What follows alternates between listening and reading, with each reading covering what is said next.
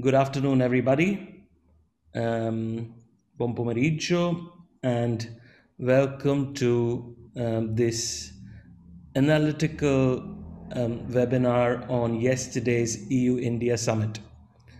Um, yesterday, uh, it was quite a historic occasion because this was just the second summit where all the heads of the EU states, along with the leadership of the European Union, met with uh, the Indian Prime Minister. Um, and today, coincidentally, happens to be Europe Day. So happy Europe Day to everybody as well. In 1950, the first step of what today, we call today the European Union was laid on the 9th of May.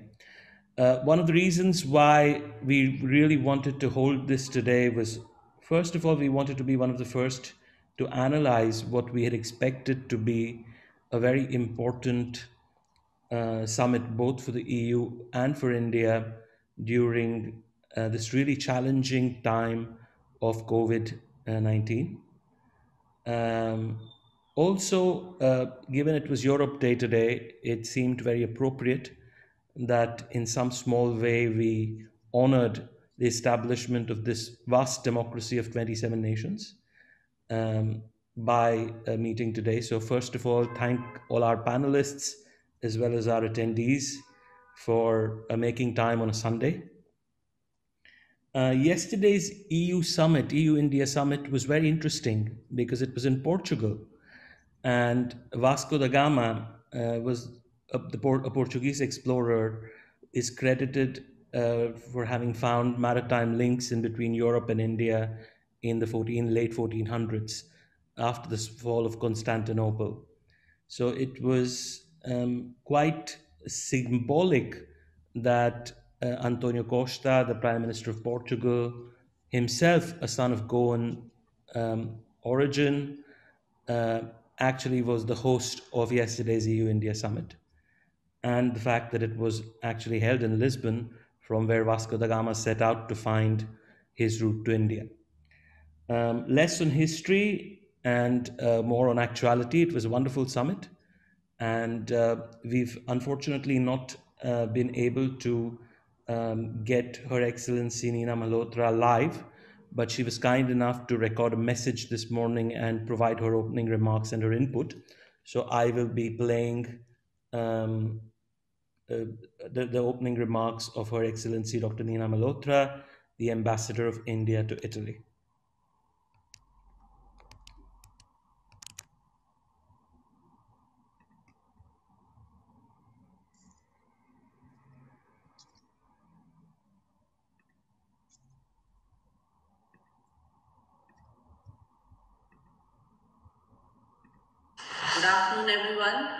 I'm glad to participate at this important seminar on the European Union and India.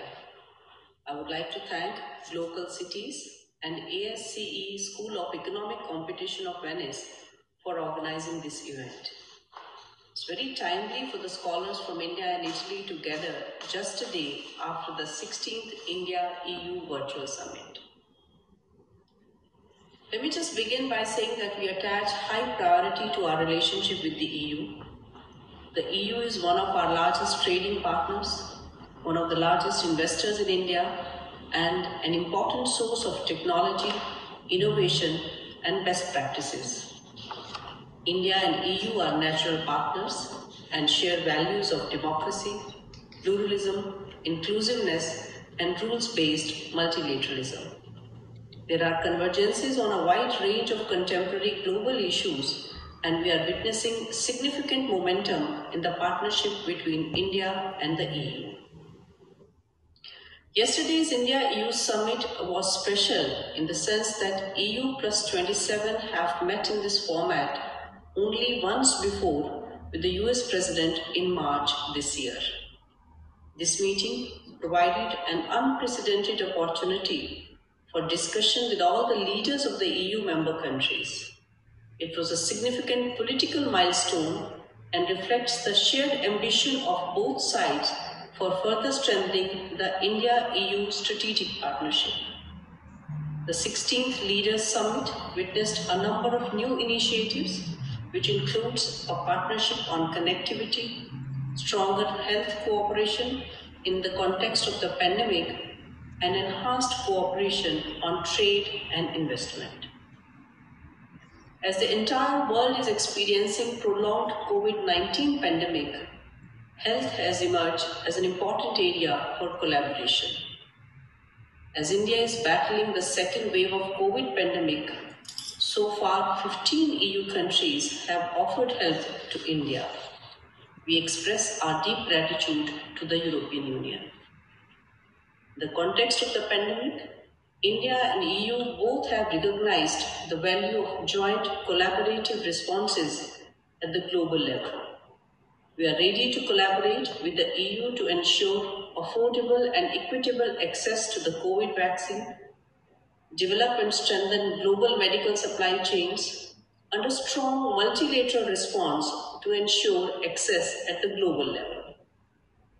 While the joint statement issued during the summit sets up an ambitious agenda for collaboration, it's important to prioritize and narrow down areas of collaboration for achieving visible and tangible progress on the climate change, which is an important area discussed during the summit, there's a conscious vision and commitment of the Government of India, which has placed climate at the center of India's new development efforts.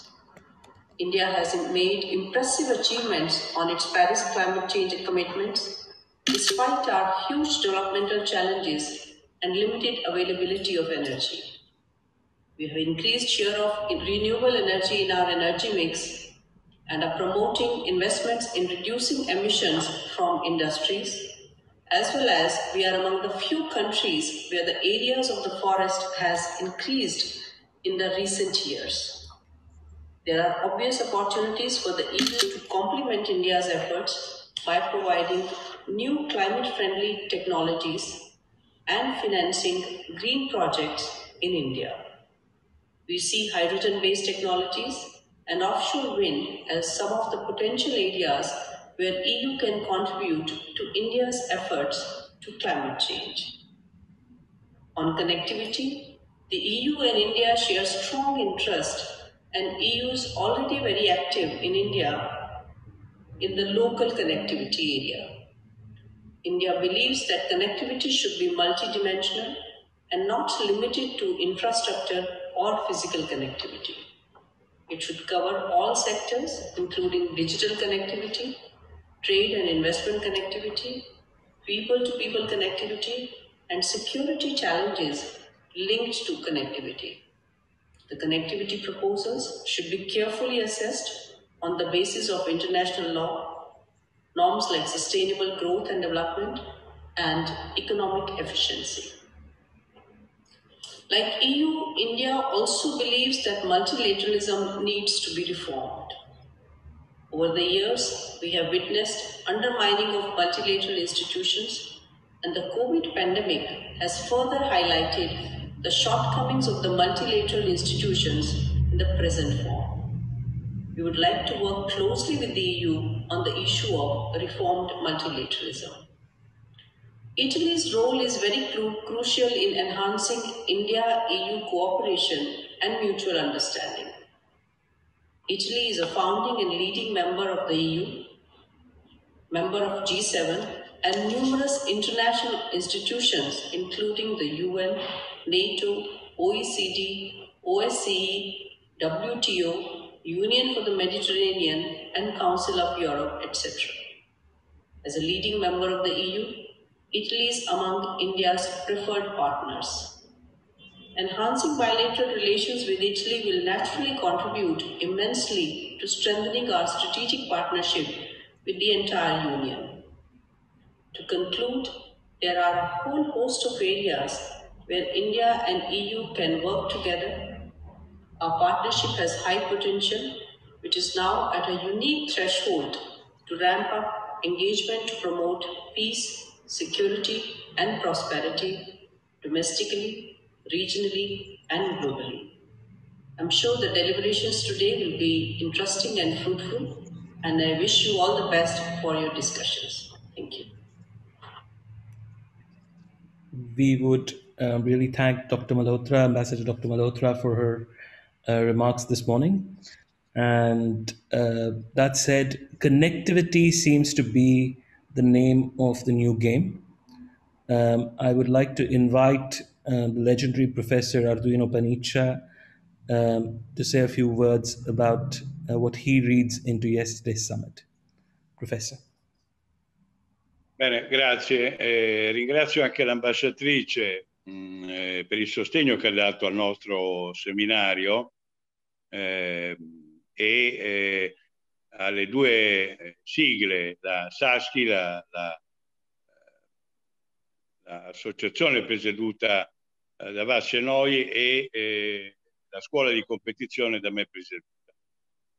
perché mh, mm, gli argomenti che affronteremo oggi, riprendendo anche i temi che ha trattato l'ambasciatrice, eh, sono sicuramente dei, dei temi eh, di un grande rapporto che eh, negli anni, devo dire, si era anche un po' interrotto, ma che con la conferenza di Porto ha ripreso assolutamente vigore per una serie di motivi che adesso eh, analizzerei molto sinteticamente, riprendendo anche alcuni dei temi trattati eh, dall'ambasciatrice.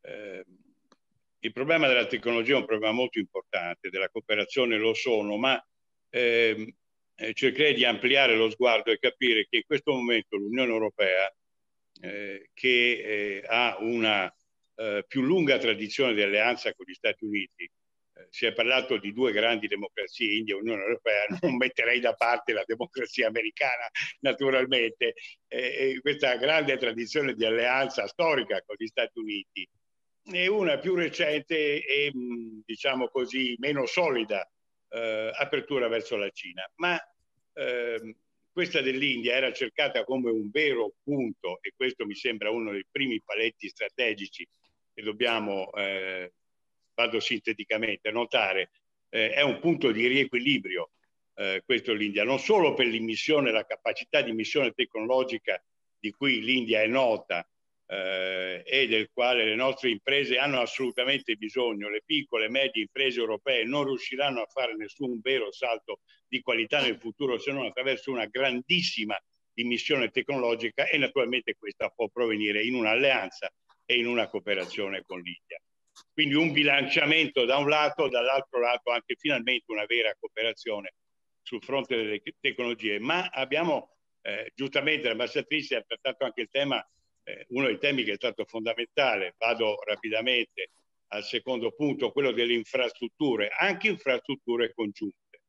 Noi non possiamo dimenticare che eh, eh, adesso la via della seta sulla quale abbiamo sentito valanghe di eh, eh, di dibattiti e di relazioni è in una fase di stallo. Eh, si apre quindi una, una, strada importante, interessante a sud, che è la parte del, dell'Indo, eh, dell'Indo-Mediterraneo, che comprende eh, eh, momenti di sicurezza, eh, ma anche delle infrastrutture congiunte che per prime andrebbero verso, per esempio, i paesi africani. Eh, il terzo punto, anch'esso secondo me eh, non da trascurare, è che si era entrati nel, nel free trade, nel, nell'accordo che poi è rimasto sospeso per lungo tempo tra India e Unione Europea, Unione Europea per alcuni motivi. Eh, alcuni motivi sembravano mh, meno importanti, ma credetemi, il fatto di riconoscere le associazioni professionali non è così poco importante.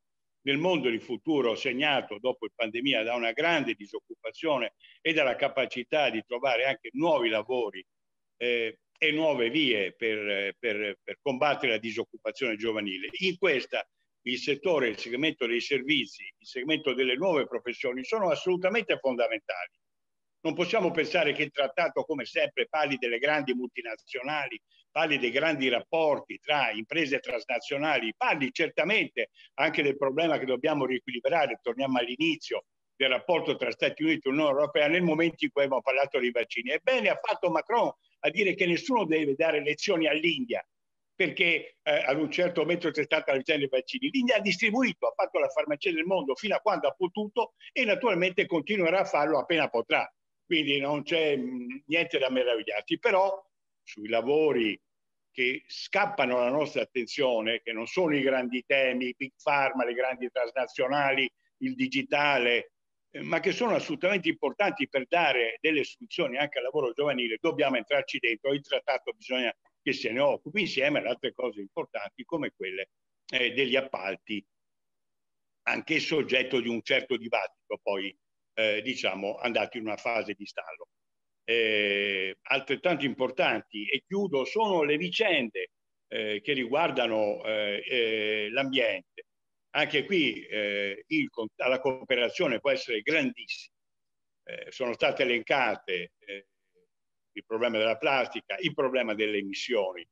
Eh, sono sicuro che eh, cooperando insieme e con un grandissimo sforzo di ricerca e di tecnologia, eh, le due grandi democrazie possono trovare delle soluzioni assolutamente innovative e esportarle non solo in Asia, ma appunto anche eh, sulla rotta dell'Indo-Mediterraneo in Africa. Va bene. Eh, mi scuserete se sono andato come sempre, eh, sono andato eh, come sempre abbastanza velocemente, ma delle cose di cui abbiamo sentito parlare negli ultimi anni che hanno inondato le nostre le televisioni, i media, eh, a partire appunto dal mitico passaggio centrale della BRI, ai problemi della grande sicurezza verso il Mediterraneo, eh, al fatto se Suez sarà capace di reggere, regge benissimo. Eh, a Suez passano 12.000 navi, nel Bosforo ne passano 52.000, quindi siamo in grado di fare sicuramente delle grandi cose anche per, eh, per la sicurezza e per il passaggio a Suez. Il collegamento importantissimo per l'Europa di una via marittima a sud, che rappresenti però una libertà eh, di scambio eh, vera e un rispetto delle regole eh, internazionali. Quindi molte cose da sviluppare, molte cose interessanti, molte cose anche strategiche, più di quello che non appaia addirittura nei verbali e nei riassunti che abbiamo fatto. Oggi forse le potremmo ampliare ed analizzare, è il nostro compito, è il compito dell'associazione del dottor Senoi, è il compito della, della, dell'associazione di competizione internazionale di Venezia. E quindi ascolto volentieri tutti quelli che potranno essere i successivi importanti interventi, oltre quello naturalmente dell'ambasciatrice, eh, che ringrazio ancora, e, mh, mm, e, sono qui pronto eventualmente, anche se c'è un po' di spazio, ma mi sembra che abbiamo dei tempi eh, abbastanza contenuti eh, e quindi eh, ora eh, mi metto ad ascoltare. Uh, grazie mille, professore. Uh, I'll just provide a brief translation in English for all our Indian viewers. Um... Ah, scusatemi, ho parlato in italiano. Io in realtà pensavo che dopo arrivassero interventi in italiano. Va bene, dai. No, no, no, prof, non ti preoccupare. E purtroppo non abbiamo potuto attivare la traduzione simultanea oggi anche. Unfortunately, we weren't able to do simultaneous translation today, but uh, I have made some notes, and if I miss a point or two, please forgive me. So, uh, apart from thanking uh, everybody and, of course, the organization he heads, um, that has co-organized this event. Uh, what Professor Paniccia points out is that yesterday's meeting was most important because two great democracies, for the first, for the second time, the European Union and India met together and discussed themes which will probably set uh, the, the, discussion for the next 10 years to come because uh, the first most important thing was the renewing of the negotiations of the free trade agreement, which has stalled for several years. While uh, for years Europe has been very focused on the transatlantic alliance between two great democracies, which is the USA and the EU. Uh, it is now specifically with the threats to the east and very diplomatically.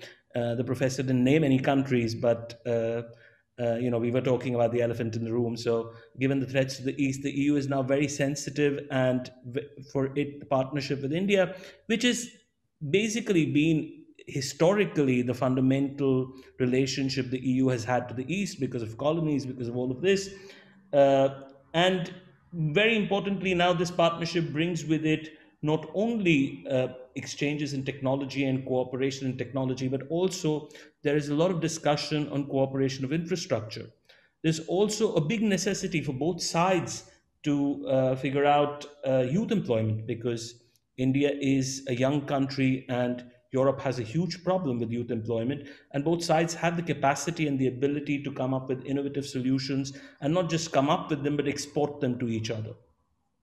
So, apart from infrastructure and youth employment, we also have a huge discussion on environment, which is, you know, justly between both the, both, both the blocks because uh, both the blocks are great, great producers, great exporters, and this also brings in the global warming equation. This also brings in a, a, common discussion on the use of plastics and the abolition of the use of plastics. Uh, and also, finally, uh, you know, we, we live in very strange times. For the first time uh, in, in, a very long time, there has been a questioning of whether Suez will, uh, you know, be able to handle the trade between the two blocks. Uh, because of the Suez, the recent Suez crisis. Uh, there is a question of the security of the Indo-Pacific. There is a question question of security in the Mediterranean, which has uh, you know which has been new with the whole uh, problem yeah. between Turkey and uh, the various EU members. Uh, now, for all of this, there are two very solid democracies that found each other again yesterday to discuss and to deliberate and uh, as Macron said, you know, there's been a lot of people chastising the Indian government about its vaccine policy, and uh, the French president was kind enough to say that India, when it could, has helped the world uh, vaccinate itself, and suddenly finds itself in trouble. And uh, instead of pontification, it requires support. And uh, this is what friends do: they support each other when there is need. And uh, yesterday's summit was not just all that the declarations were about, but it was a lot more that was not said in the declarations.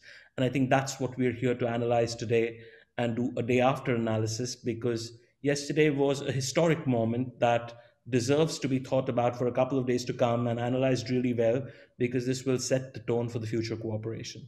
So that was in brief uh, Professor Paniccia's speech. Uh, di nuovo, professore, perdonami se ho perso qualche punto, Pardon no, me. no, it's okay, Vas. I, uh, you, you get a new job as a translator. thank you so much. It's so, very fine so, uh, okay. Thank you so much. Uh, I will invite our next guest, um, uh, Danilo Taino, a, a, senior journalist uh, with Corriere della Sera, as well as uh, one of Italy's India experts, and I might call a dear friend, to say a few words. Thank you. Danilo, please. Thank you. Thank you, Vas. Uh, thank you to everybody for being here. Uh, uh, I, I, totally agree that uh, the, yesterday's meeting uh, summit was was very important. I am not. I'm less surprised from the Indian approach than from the uh, European approach. I'm more, I am more surprised by the, the, the European Union approach because the European Union is not a geopolitical uh, entity. It's not been a geopolitical entity until now, and only now is starting to think in, in a geopolitical way. Not, this is not true for the whole of the continent. This is true for some countries more than others. Unfortunately, Britain, that has a geopolitical approach, is not, is not in the European Union anymore. But Britain is a friend of India, of course, and also, I hope, a friend of the European Union. So I, I, I suppose we can, we can join together in, in, in the, in the future. Uh, so I'm quite surprised that the European Union opened the window and also arms in some way to a, a, new partnership, I hope it will be, with, uh, with India. It is important for geopolitical reasons, first of all, uh, because uh, I think that now uh, the, the issue of Indo-Pacific that, is, that has been taken up by the European Union in the last few months is going to be one of the central issue of, uh, of the next, uh, of the next years and probably decades. So I think that the relationship with India will be at the center of the interest, both for the European Union and for the United States as well. I think that um, Nobody spoke, if I understand correctly, yesterday about China, not openly, but I think that China is always there when we speak of the new relationships in the world. And uh, I think that we have to think very seriously and in a concrete way how to develop a partnership and a relationship between uh, Europe and, uh, and India. I think that connectivity that is something different, I suppose, from the Belt and Road Initiative, the Chinese Belt and Road Initiative, more open, more based rules, I suppose, and uh, more respectful of human rights and civil rights as well, and more respectful of contracts probably as well, I think will be one of the major points of the, of the new relationship uh, we have to be realistic about the situation. There are a few countries in, uh, in Europe, important countries, that are not so enthusiastic about the, the geopolitical dimension of the European Union. They don't believe very much in that. And uh, I don't want to make any name, but I wanted to speak about Germany.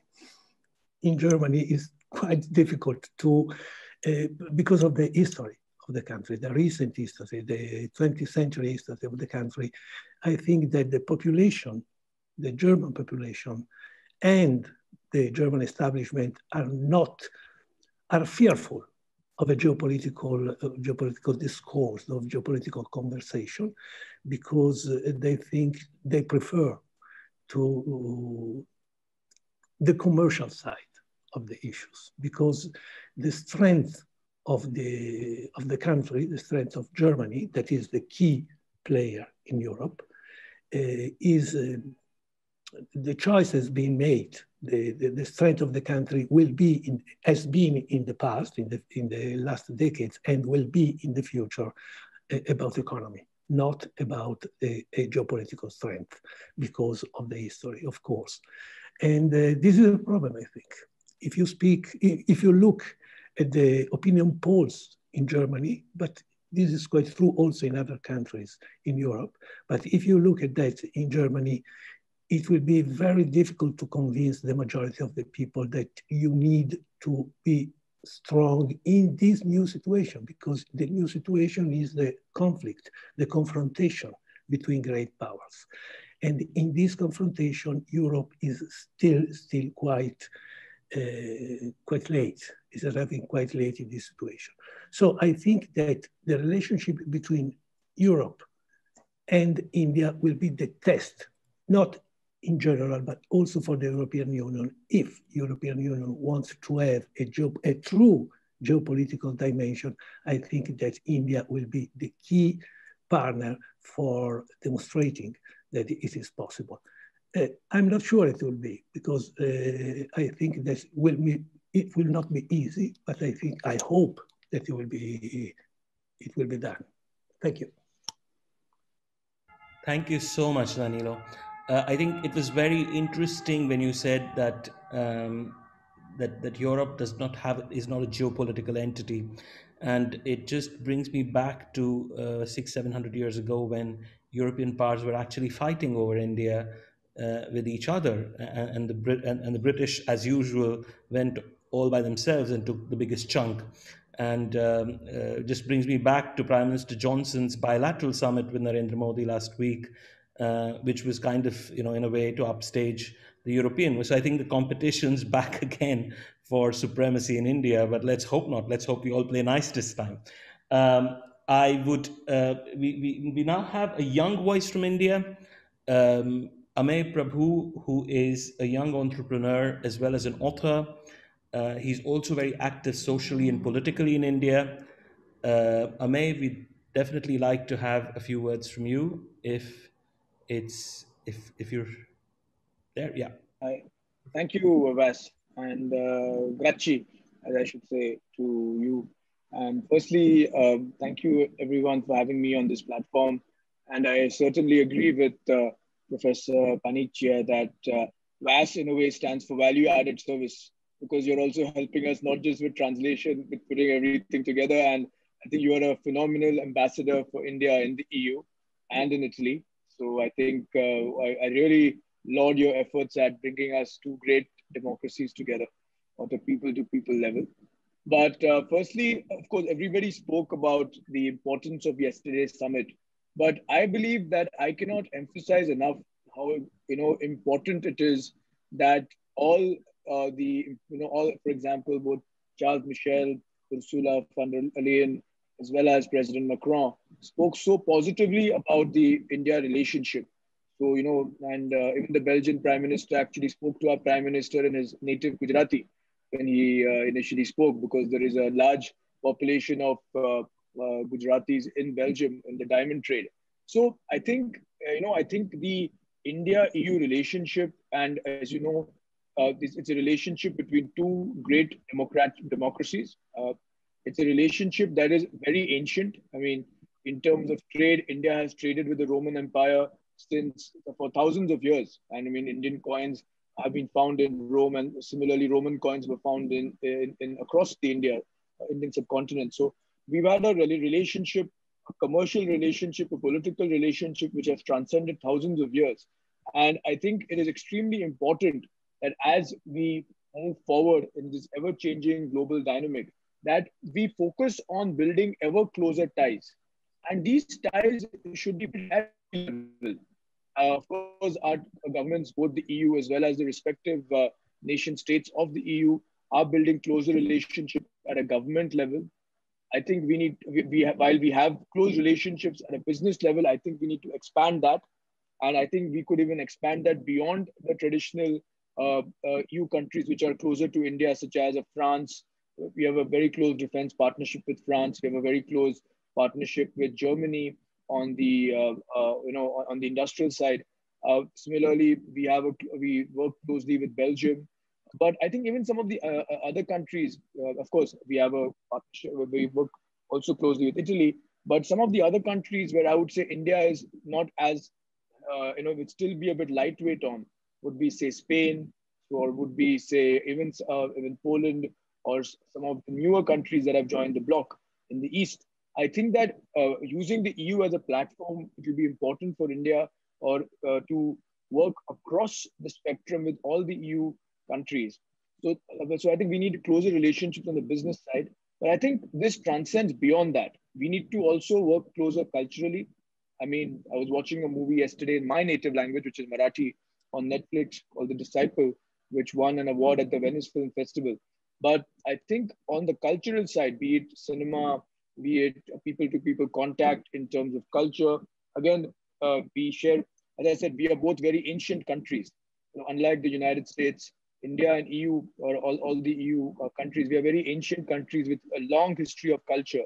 So I think cultural contact, but also academic contact between our institutions. So I think what is important is that we shouldn't confine this relationship only to a political or a commercial relationship, but it should, as I say, it should really be a heart, mind, body, and soul relationship, not just at one level. So I think it is an important, uh, I would say, probably India's most important relationship in the world today. I would I personally place it above our relationship with the US. And that's because uh, I do believe, I mean, of course, I, I, would say I'm slightly biased because I did live in Europe for uh, a decent amount of time. But also, I think I, I think that the relationship with uh, the, the EU also tends to be emotional.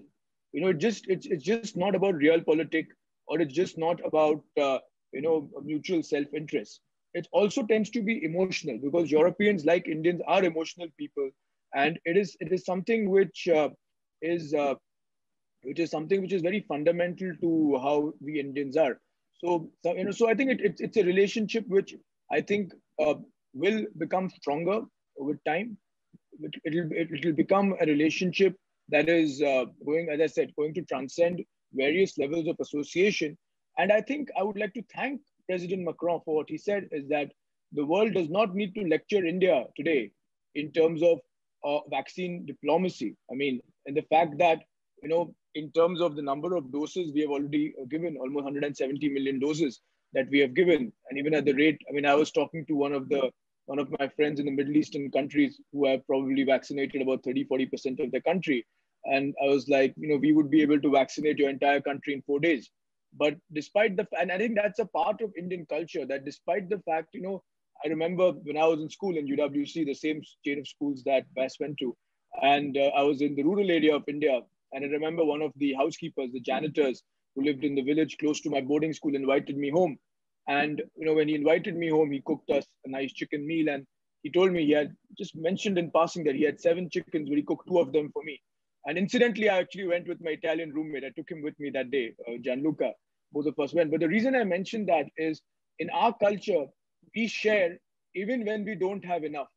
A lot of cultures actually share only when their stomach is full.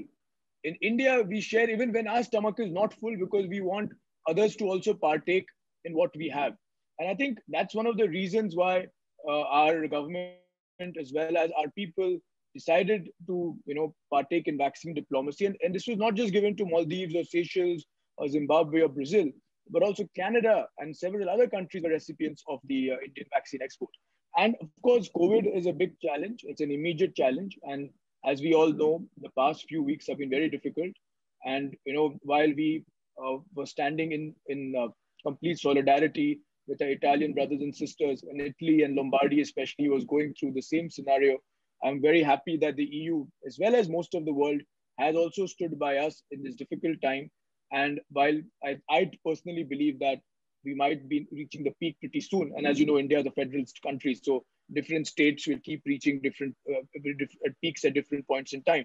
But I do think that in the post-COVID world, where healthcare will be a very important element, I do think that uh, we can hope and pray that we can work together as a globe to prevent such future pandemics and also realize that the other global issues such as the environment such as you know uh, racism or such as post uh, or such as issues pertaining to disarmament. So I think we can take very important lessons from COVID that we all have one planet. We all have to work together. Something that happens in uh, China does affect the rest of the world. Something that happens in another part of the world does affect, you know, China or in India. So we need to work together and let us hope that EU, India, and uh, of course our ambassador spoke about how India is doing on climate. But I think we all need to work together because, you know, uh, moving forward. And I think that that could be a very important element of cooperation. Finally, uh, before I conclude, I would like to say that uh, uh I'm very happy to be involved from the Indian side in terms of furthering dialogue with uh, uh, the EU at various levels. Furthermore, I'm, I mean, I'm also an author. So in my last book, which, which was published by Amazon, there are quite a few of the stories actually based in Europe and all across. So it's something very close to my heart. And uh, I do hope that this is actually the longest I've been away from Europe for many years, you know, probably in the last 25 years. Uh, I've not come to Europe since actually September of 2019. So I do, do hope that I can return to European shows soon and uh, work towards uh, furthering our people to people partnership. Thank you, namaste, and arrivederci. Thanks so much, Amey. And um, I, I sincerely echo your sentiment that the next time we do this discussion, it's in person and not, it's over a glass of wine and not over a, a web platform. So I think all of us are quite happy with that. Um, uh, I'll turn this over briefly to Matteo Carnieletto, who is the editor of Il Giornale.it and the head of Inside Over, uh, one of the major uh, news platforms in Italy and upcoming uh, blogging platforms in Italy. Matteo? Grazie, Vas.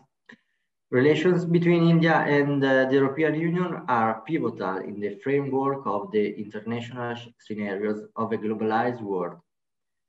India and European countries are pursuing a connection between the old continent and the subcontinent, which has seen many precedents in the long history of these two worlds interconnected for so long. Two systems evoking different civilizations and stories, which now find themselves dealing with a global scenario to which they must make a contribution dictated by common values. Security and the affirmation of the rule of law, multi multilateralism as a means towards resolving disputes, the promotion of the values of freedom of trade, the assurance of the proper conduct of maritime traffic, the prospective establishment of common standards for the ethical and democratic use of the new technologies, the last frontier in a far-reaching and fruitful relation on the commercial front. In 2019, before the pandemic, bilateral trade between India and the European Union had exceeded $100 billion, testifying to the fact that on the economic front too, common interests are expansive and diverse. Yet simple figures and the economy are not enough to convey the extent of the importance, the importance of ties between the European Union and India. India is uh, one of the natural partners on which Europe can and must rely on for the promotion of its values and of its strategic ob objectives in various fields, from diplomacy to the realm of technology. Their partnership is based on the shared values of democracy, pluralism, lawfulness, and respect for human rights. India was one of the first developing nations to offer diplomatic recognition to the Six Nation European Economic Community, the precursor of today's union founded with the 1992 Maastricht Treaty. With the new millennium and the gradual rise of New Delhi as an important player in the economic and geopolitical fields, and with the advance of globalization, India and the European, the European Union felt the need to strengthen their cooperation. The Lisbon Summit in 2000 was the first India-European Union bilateral meeting. The then Union President, Portuguese Prime Minister, and current UN Secretary um, Antonio Guterres, and India Prime Minister Atal Bihari Vajpayee signed a cooperation agreement recognizing each other as an important partners in the multi multipolar world.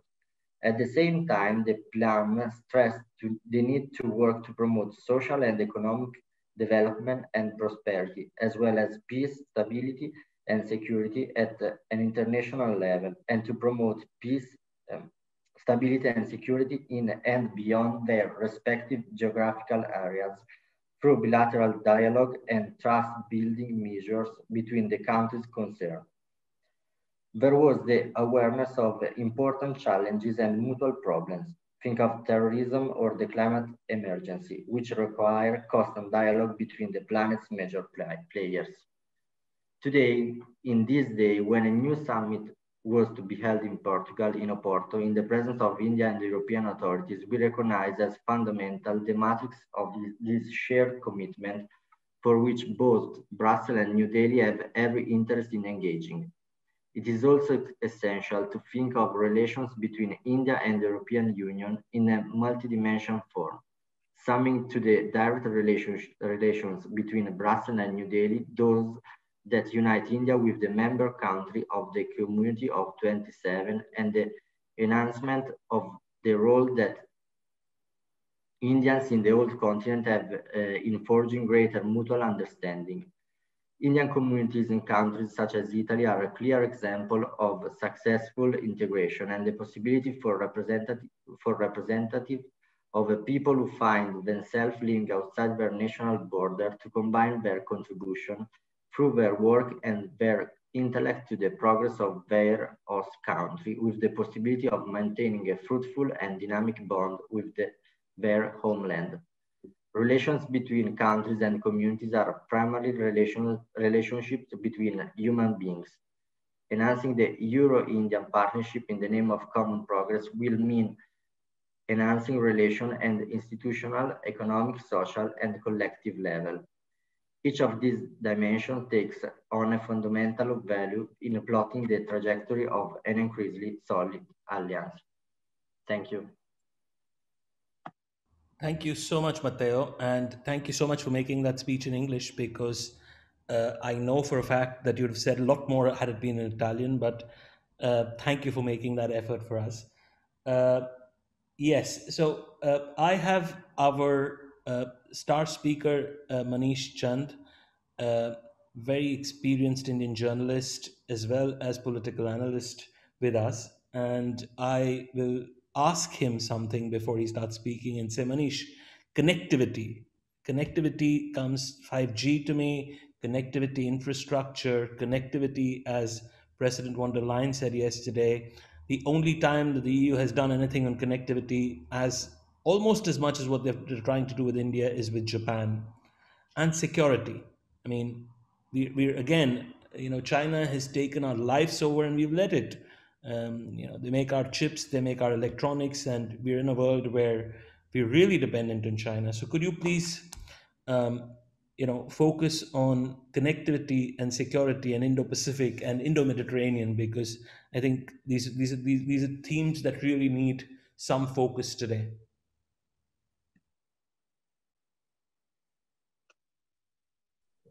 Yeah, sorry. Yeah, now it's okay. Yeah. Uh, thanks, Vas, for inviting me for this uh, very important discussion. I really appreciate your taking uh, this initiative to bring uh, you know, scholars, experts, especially from India and Italy together for this much needed conversation. Now, uh, you know, the speakers before me have already spoken about important facets of the India-EU summit. I think this summit, particularly the May 8th summit, was, uh, was a landmark summit, was a transformational summit in many ways. It has really pitchforked uh, India-EU partnership onto a higher trajectory. And it's not just talk. You know, I mean, there was a sense, a perception gaining ground in in India, in among strategic circles, among people, uh, that India, EU, whenever they get together, is just a lot of talk. So this summit proves those skeptics wrong uh, because of the substantive outcomes, which are not really talk. So I think we are moving from the declaratory rhetorical phase to the action oriented phase. Finally, we're walking the talk. And uh, two clear examples of that is uh, number one, of course, the resumption of trade negotiations. After a thousand revisions and revisions, as T.S. Eliot, the poet, would say, uh, finally we are launching, resuming those uh, negotiations. And of course, the number two, a very big ticket outcome uh, of this summit uh, was the connectivity partnership. Now, connectivity partnership is transformational in many ways. First of all, connectivity by its nature is something very tangible. It's no longer, it's not really about talk. You have to walk the talk. Connect, it is about connecting. And uh, the document that has emerged out of that, there's a standalone document, standalone joint statement on EU-India connectivity partnership, which is very uh, comprehensive, which is very ambitious, and the scope of this partnership encompasses key facets, you know. Uh, so it's it's about digital connectivity. It is you know the three domains or four domains are listed: digital, energy, transport, people to people. Uh, so this is uh, quite exhilarating uh, to to see this kind of effort. In its, let me highlight a few points about this connectivity partnership. so you know the point number one is this: that the connectivity partnership uh, sends a powerful message across that the two sides are finally moving beyond simply talk to build tangible, physical uh, connectivity and infrastructure partnerships uh, in not only each other's uh, uh, region, but also in third countries. Now, you know, if you translate it into physicality, of course, there is some distance to cover. What you have is India EU joint projects in important regions. You have Asia, you have uh, Africa, Central Asia, Africa, Indo Pacific. Now, once this is executed, of course, you know, the document talks about and the effort going ahead would be about uh, exploring those pilot projects. Given the very nature of infrastructure projects, they, you know, not just finance, uh, but long gestation projects, is going to take quite a bit of time but once you get going, there are no stopping it because there is a huge hunger for high quality infrastructure across the world. Uh, also, when these projects finally come up, they will be visible emblems of India EU partnership.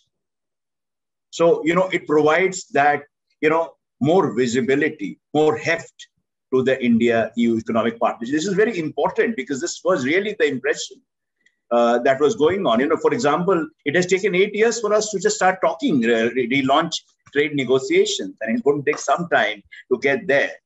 Uh, The second point is that, yes, uh, the connectivity partnership has been conceptualized and designed as an alternative to China's Belt and Road Initiative. Now, which is seen as a, as a symbol of predatory capitalism, uh, which is accused of imposing onerous debt burdens on beneficiary countries or plunging these countries into very crippling uh, uh, debt traps. Uh, so, you know, let me talk about this part attracts a lot of attention, you know, anything that provides counter. China is anyway, whenever you bring this into geopolitical discourse, it spices up. Oh, China threat, China rivalry, and all that. So it's always good to sex up a discourse, uh, so to say, with this China factor. Uh, but I think what one sees here is a great deal of realism and pragmatism. So, of course, we are talking about in this the way it has been articulated uh, and presented this uh, connectivity package that it will be rules based, it will be transparent, it will be based on principles of you know fiscal sustainability as well as environmental sustainability. What it all adds up to is that the infrastructure projects, by their nature, should benefit people for whom this infrastructure is built. But I think in in in uh, you know conceptualizing, in doing you know thinking really big, like for example, Chinese have done these huge projects and all that. Some or other people are no longer at the center of these projects, and I think this is the the big uh, gap which this partnership addresses. It positions people at the center of it by extension. You know, because when you're talking about uh, uh, environmental sustainability, of course, you're making these projects healthier, more, uh, you know, uh, palatable for the common man. You know? When you are talking about uh, fiscal uh, sustainability, not imposing debt obligation, you are talking about liberating. Infrastructure should liberate the nation's potential for whom it is meant, as well as people's potential. I think these are the fundamental animating principles. And I'm glad to see that these principles are being enunciated upfront in this document. And hopefully they will guide these projects. And that's where their attraction will lie. So I think this is a, a very significant uh, part, facet of this partnership. Now, if one uh, uh goes and uh, scans this document carefully, uh, it's around a little over 2,400 words, some, somewhere around that. So it also talks about sustainable uh, projects, sustainable digital transport and energy networks. The word sustainable is significant because by comparison, uh, you know, uh, many of these uh, so-called BRI projects have been abandoned midway. So only do those things which are sustainable. Because when you leave things midway, it really leads to a lot of uh, you know waste and heartburn in the process. Okay. So that's also uh, very important. Another important part of this private uh, partnership connectivity is that unlike the state uh, driven model, the public sector driven model, this envisages PPP model, that is public private partnership, and it envisages a bigger role for the private sector. So, uh, so you know, in this, uh, this is very important because private sector will put money where money needs to be put. You know, they're not going to doing philanthropy, doing this talk. So they they it, they will strive to make it viable. There's nothing dirty about profit. So getting private sector means more accountability. Getting private sector also by extension would mean that one can expect these projects uh, to be delivered on time. Because if you delay, it will add cost. So so the, the, the big pivotal role of the private sector is most welcome. Uh, also, I see, and there are some, there are quite a few things which uh, uh, really needs to be worked out because really, I mean, this is a very impressive document that has emerged out of it, but a lot of it is the proof of the pudding lies in the eating of it, how they plan, how they conceptualize those first pilot projects, how soon they can get it off the ground. This is what uh, people will be watching.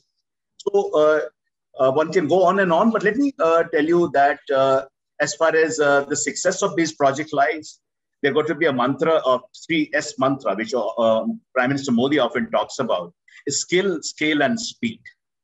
So, you know, uh, we have the skill and we probably, and we are aiming at scale. What is important is the speed. Speed is, you got to really pick up the speed as you translate this into reality. Why this is important? Because, uh, you know, many of the projects here which have uh, been undertaken by India uh, uh, Uh, uh, in, in a spirit of critique, one would say, uh, have uh, sometimes languished due to, you know, lack of tempo, you know, lack of sufficient pace, speed in implementation. Then what happens that brilliant projects, you know, projects which are potentially transformative, they start suffering from credibility gap. You promise the moon and you don't deliver. So I think we should not promise too much India EU because this is important part of this connectivity partnership is projects in third country. So this is very important to retain our credibility that we should not overpromise and then underdeliver. So we should only do what is practical, possible within time frame.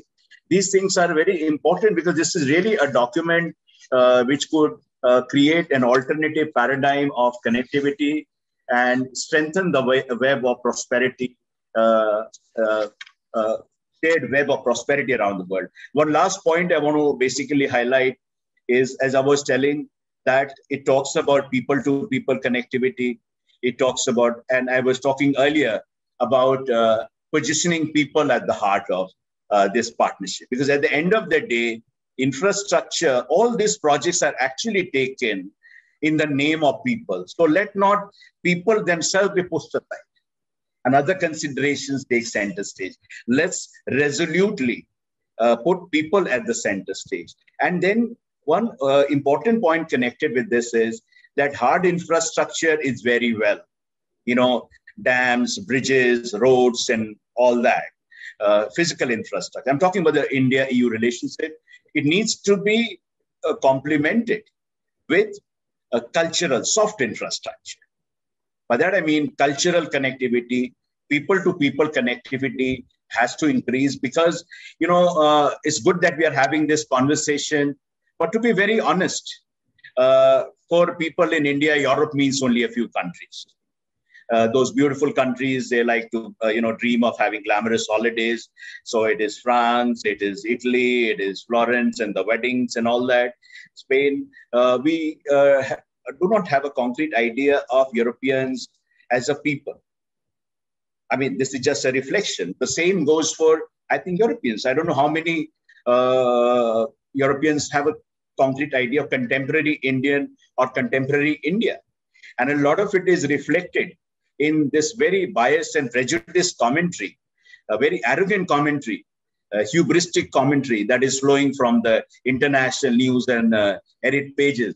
Uh, which are you know portraying India as a kind of you know collapsing and were indulging in pandemic, as they say, you know scavenging. You know, you are talking about people uh, funeral pyres being burned. It is obscene. It is tasteless. It reflects uh, a lack of understanding of the other's culture we when India, when Europe was going through uh, hell literally, you know, and it went through a very difficult phase, uh, you know, we uh, rallied immediately. One should not exult in other people's misfortune. Of course, a lot of things could have been done better, but at the end of the day, it is a disease. So I think this uh, point when we are talking about connectivity, but linked up with this is the idea of uh, people to people and cultural connectivity and investing more time and effort in promoting mutual uh, cultural understanding, understanding the other. Uh, should be also central because you can build these roads and all, but at the end of the day, uh, people are going to be walking over it. And then those people who will walk over it, Indians and Europeans uh, and other from other regions, they should greet each other. They, they, they should not have mutual suspicion. So I end with uh, only one thing, which, uh, you know, that only connect and connect genuinely. And India and Europe, uh, European Union are finally moving in the right direction with a skill, scale, and speed. Hopefully. Thank you so much. Um, thank you so much, Manish. Um, I will open to questions from uh, our floor. But I have a question of my own to Danilo, who um, has been uh, uh, the correspondent of Corriere della Sera, if I'm not mistaken, in Berlin for a very long time. So, German specific.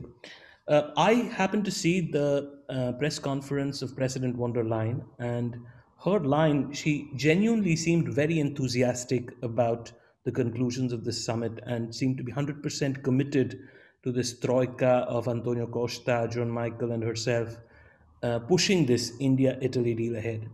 But her mentor, uh, who is now fading out of the picture, uh, the German Chancellor Merkel, seems to be far more pro China, and her stance seems to be a little uh, away from the rest. How would you see this translating with the next government in Berlin? Uh, would it be pro von der Leyen? Would it be uh, pro Merkel? Uh, what are your thoughts?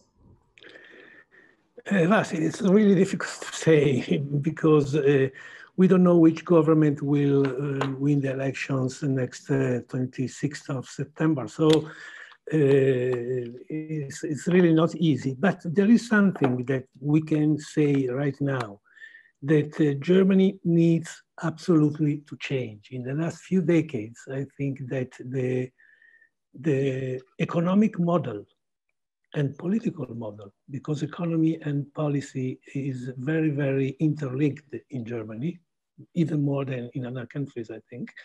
Uh, I think that this model has been the model, uh, the success of this model has been the success of the globalization. I think that the two big winners of the globalization in the last few decades has been China and Germany, the, the biggest exporters in the world. Uh, I think they, they have to change that because uh, the situation now is different. I am not saying that uh, globalization is going to end, to, to finish, but I think that the situation is uh, different now. And now, I, I, like I said before, uh, I think that the geopolitical dimension is much more important than in the past. I think in this situation, the uh, economic model of Germany will have to change. It will not be easy. It will not be easy. And also the political situation will change. It will not be easy because uh, think, uh, for example, to the um, automotive industry that is really big in Germany, very important. And China is very important for uh, and Merkel is a big defender of the automotive industry in Germany. In Germany. So she is very much a commercial uh, leader in, in that sense. She has been also very much political in, in other situations, of course, but uh, she understands better the, the, the situation of the last few decades than the new situation. She, she doesn't like, she even, she, she doesn't even like uh, Biden. Mm, just to be clear, not speaking about Trump, obviously. So I think that we're, uh, it depends. If now the Greens are going to win the elections or enter the government, I think that there will, they will be probably more uh, open to, to, to be clear about China let's say in, in, in, this way. But uh, I think that China and also Russia will, will be very important for Germany also in the next few years. I think that the new government will not be an easy government for Germany and for Europe, for Europe because Germany is the core of Europe.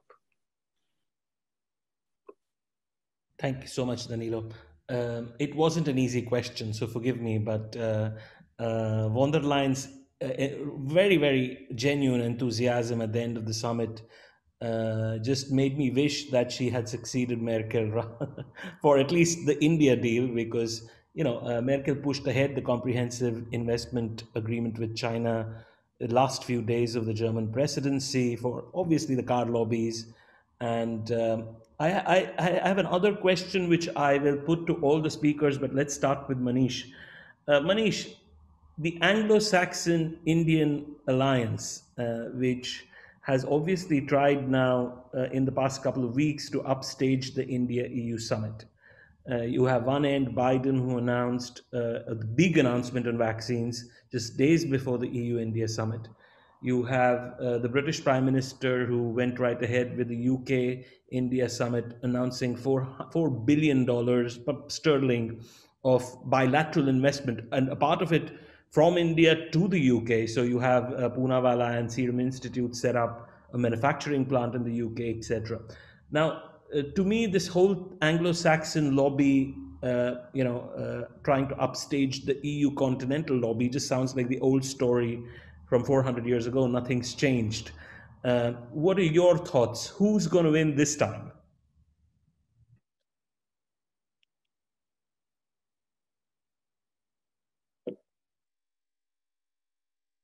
You're mute, Manish. Uh, what I'm saying is that Vas, you put this question in a very intriguing way about you know this game uh, competition, one-upmanship, and all that. Uh, but my sense is that if you look at it uh, from India's point of view, it is uh, good to have many sweeters. It's good to be quoted. Uh, you know, despite you know gloom and doom narratives peddled about India, I mean, I've written about it.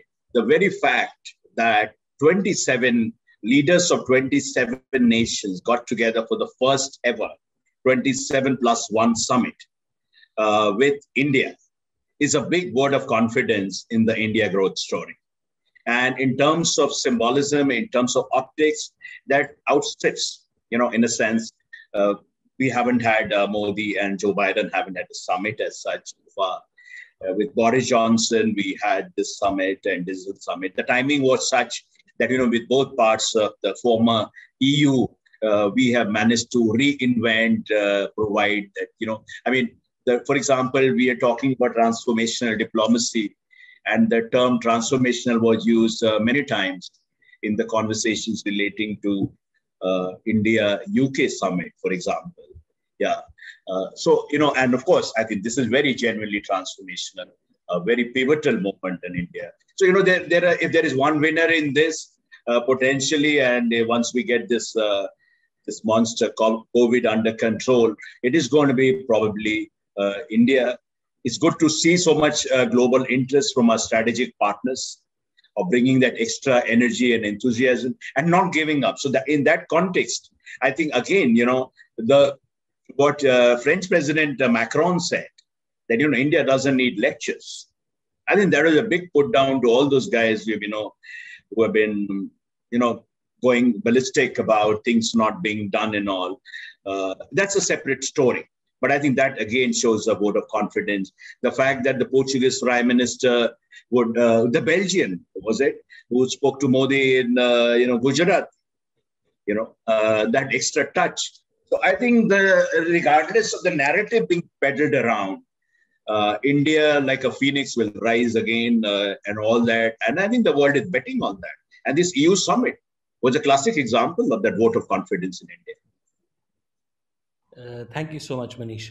Uh, that reminds me of a very nice article Danilo had written recently on Indian diaspora and its lobbying power. So whether it was Antonio Costa or, uh, you know, we hope soon one day we'll see a British Indian Prime Minister at the helm, uh, whether it's Rishi Sunak or somebody else.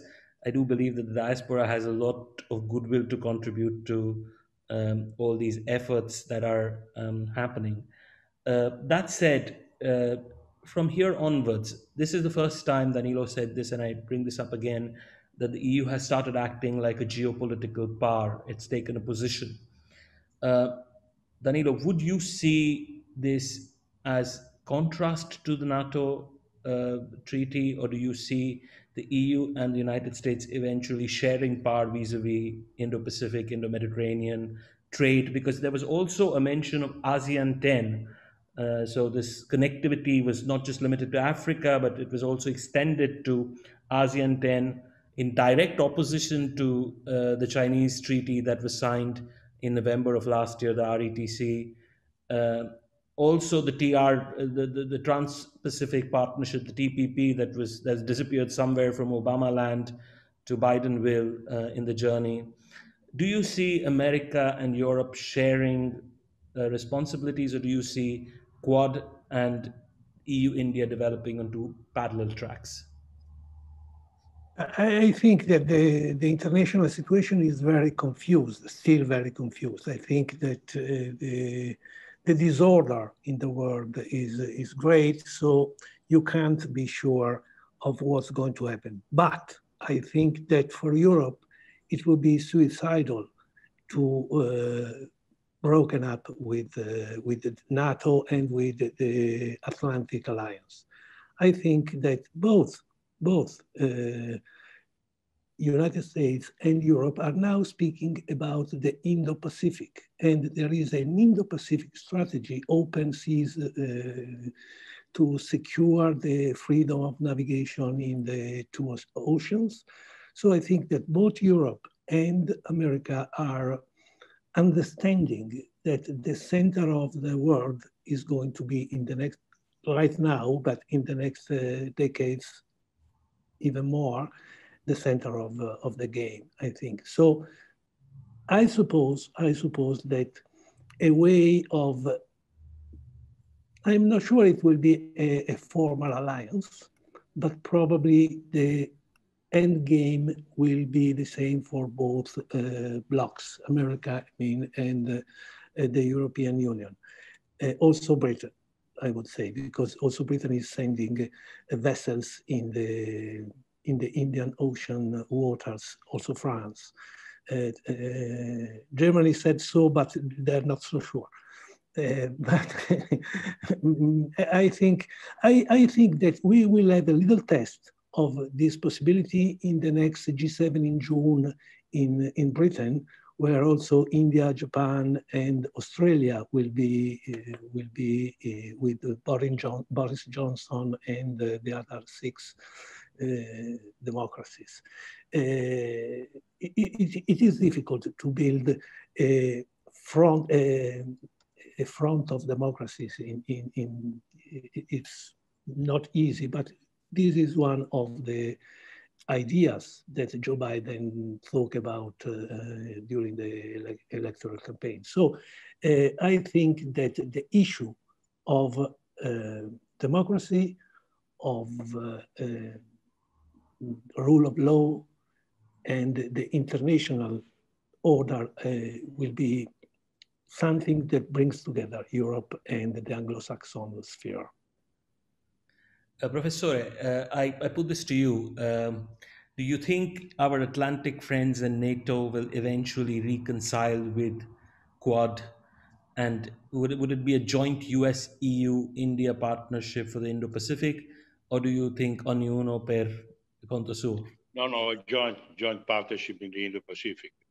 I, I, guess will be a, a NATO and India partnership in the security of Indo Pacific. So no ognuno per i fatti suoi, but all together with democracy against autocracy. This is, will be the end of the game, I guess. Uh, Manish, what would you, uh, your two bits on this particular issue? A new G10, a new Quad NATO coming together, because I mean, the countries are basically the same. Uh, or are we talking about uh, you know individual so yeah uh, so i think what uh, professor was saying right now about the two models the democracy model and the beijing consensus uh, you know so to speak yeah. I think that is going to be the larger contest and within that there'll be permutations and combinations so we already have a quad there is this idea that quad should have because quad will cannot have more members by its very definition Otherwise, it won't be quad. So they can only be observers unless they call it something else. Uh, so there is quad, there is uh, D10, which uh, Boris Johnson has spoken about, Democracy 10. And before that, Donald Trump uh, was talking about G10 and G11, but he did not, uh, you know, uh, survive to take that forward. But now Joe Biden is talking about Club of Democracy. Yeah. So I think what is happening is a larger contest of the two opposing value systems. And alliances, uh, I mean, India is not comfortable with the word alliance, but quasi alliances will be struck because the scale of the problem is such. You know, I mean, you look at whether it's freedom of navigation, uh, whether it's uh, core human rights, you know, the liberal values. uh, where uh, which bring Europe and India together. You know, normative. We are both normative powers. So I think that is going to be the trend of the and one will surely see some of these combinations. You're saying that uh, India versus so there is that China versus the rest. It looks like right now. Thank you. Thank you so much. I think we, we, we, we're, we're running short of time, but I think there's one thing that in the next couple of weeks we, we're going to have to face, and that is 5G, which is you know on the top of the Chinese strategy structure for the for the 2050 because you know Chinese strategy is based on layers as usual. It's synchronous. So you had the BRI, then you have uh, make in made in China, then you have China 2030, and then you have beyond, which 5G formed a very important part of. And India has been um, uh, applauded for standing up to the Chinese 5G. We do expect that uh, Indian companies now will be uh, sued by Chinese suppliers for upgrades wherever possible. Harris, China will not go down quietly. Uh, do you think, eh, just briefly, all three of you, do you think that the opposition to 5G will be united now, or do you think eventually China will manage to break through? Start with Danilo. Uh, I, I, think that uh, strictly about uh, uh, 5G, I think that uh, China is not to have a breakthrough in the, in the medium term. More in general, in the challenge of technology, I think that also uh, the, the next Nobel laureates will come from America, will come from India, more probably, but less from China it is true that they have the biggest market for the uh, self-driving uh, uh, cars, but they don't have Tesla. They don't have Elon Musk. Professor? I agree completely. Yeah, I agree completely with uh, Danilo Manish. They say very interesting, very, very interesting strategic issues. Okay, is I guess the same. Um, next time uh, we will have a, a, a, a U.S. Uh, U.S. strategy that will not they cannot pass through. Uh, the Chinese will not pass through. I guess maybe uh, maybe tomorrow it will change, but now I guess that uh, they are they are right, Danilo and and, and Manish, completely. Many Manish, any closing um, remarks? Oh, basically, I mean, right. I mean, uh, they're both right. I mean, the point is that Indian government is already barred, uh, you know, Chinese companies from 5G trial. And this whole 5G business is uh, uh about the larger race for uh, technological supremacy, techno, techno nationalism, which is shaping up and all. And again, out there, I think the two parties, the two contrary factions are aligned, you know you have uh, liberal democracies, and you have, as uh, Mr. Paniccia said, uh, authoritarian model of sorts.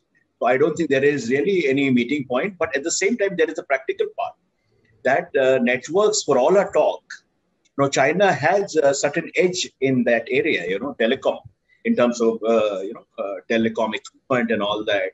A lot of R, for example, are still dependent. So one got to sort out you know, these are practical things that as you decouple, so to speak, or not letting them in, how are you going to sort that out?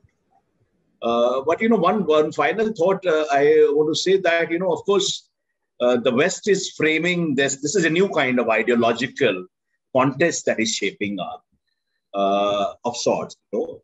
Uh, uh, but you know, as far as the India and the EU concerned, the agenda is so transformative, and it could potentially be people-oriented that I would say that yes, Indo-Pacific is fine. We must tighten our connect there because again to defend those principles. But we should be uh, wary of you know just the geopolitical uh, rivalries hijacking the agenda. It should be people-centric agenda which will carry greater credibility. Because I see this is a tendency that we always get bogged down in the China, China, China containment. And the fact is that China is the largest trading partner, continues to be, of uh, 128 countries including most of European, many European countries. So yes, the, the China is going to be a question. Uh, but looking ahead, I think India and EU should stick to uh, people-focused agenda, which which makes uh, our people's lives better, you know, so to speak. Um, I'd like to thank all of you for making time again on Sunday. Uh, it's a pleasure. To pleasure. Um, you know participate today, um, and I hope uh, we do we are able to translate this whole uh, EU India summit into something much more concrete because in December already of last year, relations between EU and India were looking quite bleak. And suddenly there has been in the Portuguese presidency an immense change and new sunrise. So uh, here's to a longer relationship. I do hope that the next time we are able to do this is uh, across the table and not across computer screens. And uh, thank you again and um, have a good evening. Thank you. Thanks so much. Thank Thanks. I greatly enjoyed it. Thank you. Yeah. Bye. Thank you so much. Bye. So we're going to be doing one uh, on India EU again uh, on maybe uh, around May 18th or so. So we'll be happy to have uh, our uh, friends from Italy today. Absolutely. Yeah. yeah. Us, I'll, I'll, make a common mailing list. Between yeah, yeah, I will pass it on to us. Yeah. Thank you so much. Man. Yeah. Okay. Thanks so much. Okay.